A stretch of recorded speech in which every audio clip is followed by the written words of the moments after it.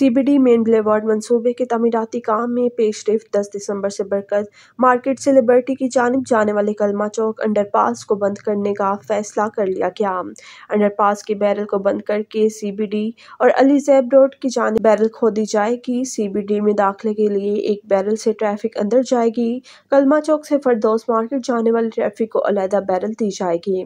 Traffic मुतबादल plan के मुताबिक बरकत मार्केट से आने वाली ट्रैफ़िक कलमा चौक में पार्क के सामने से गुजरेगी। लिबर्टी से बरकत मार्केट जाने वाली ट्रैफ़िक मामूल के मुताबिक चलेगी। प्रोजेक्ट डायरेक्टर रियाज हसैन का कहना है कि शहरियों को दुरानी तामीर मुश्किल से बचाने के लिए बेहतर प्लान मरतब कर रही हैं।